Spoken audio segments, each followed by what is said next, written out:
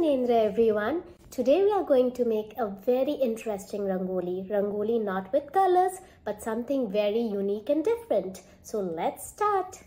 For this rangoli you need a poster board like this. A compass if you have a compass or you can use uh, circular objects like this small bottle that I'll be using. For a bigger circle this bowl which has a uh, which is also round a sharpie, a pencil, an eraser and also a ruler for drawing the square. So first of all we'll use the small circular bottle and make a small circle. Outside I'll be drawing a bigger circle using this bowl. Now using the ruler I'll be drawing a square outside these two circles. You can make a point if you want it to be perfect.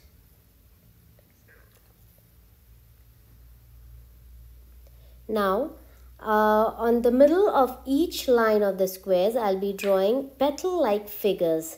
This is going to be a freehand drawing, guys. Just imagine to draw petals on all the four sides. Also, on the corner of the square, I'll be drawing another four petals.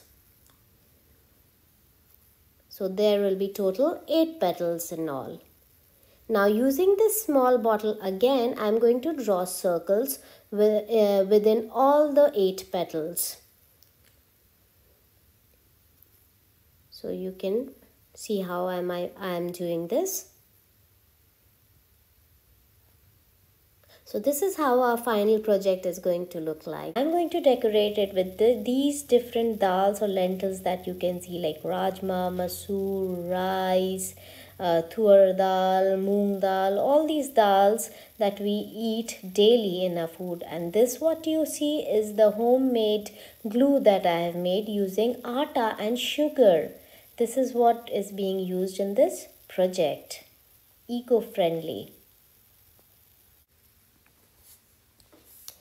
Take the homemade glue and uh, on the outer circle just apply a layer of glue.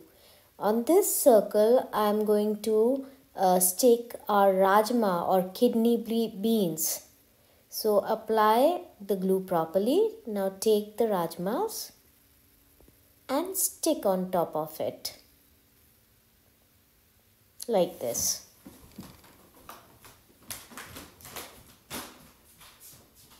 Now in the inner circle again I am taking our biodegradable uh, home glue applying it all inside the circle. And on this circle I am going to stick rice. The small rice that I have white rice I'm going to put it on this circle. And don't worry if the rice comes out because we can always remove the excess. But make sure to apply the glue properly. Now take some rice and put it on the circle and then make sure to tap it properly, press it down so that it actually sticks. And whatever extra is coming out, we can always remove it. So don't worry about it. Now similarly on all these small circles, I'm going to apply glue and put our white rice. So this is how my all the eight circles are finished. I've put rice. Now I'm going to remove the excess rice. Now in the center circle, like uh, the area between the rajma and the rice, again I'm putting some glue, good enough quantity of glue and then I'll be putting moong dal on top of it. So we'll stick moong dal, the green whole moong dal in this space.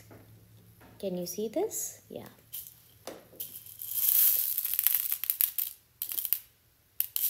So put it all in the middle portion and make sure to press it.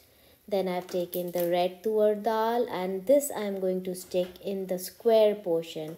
So I've, I've applied glue in the whole square section and I've taken the red masoor dal and spreading it all across making sure to press it also in between. And now I'll remove of the extras of the dals in a tray or any place you want to. So all the extra will come out. Whatever is stuck will be stuck. Now similarly i'm putting the yellow tur dal in the middle petals outside the white circle. But make sure to put good amount of glue. Put the dal press it. And don't worry about the extras because we can always remove it. Similarly i've taken the um, uh, brown masoor dal and that also i'm going to stick uh, in the corner petals. So i've taken brown masoor dal and the green moong dal and that i have stuck in the this is how our final product is going to look like.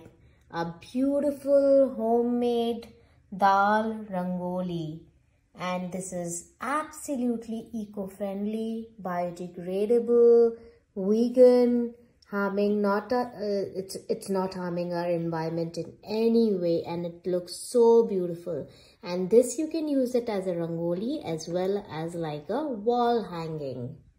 Jai jinendra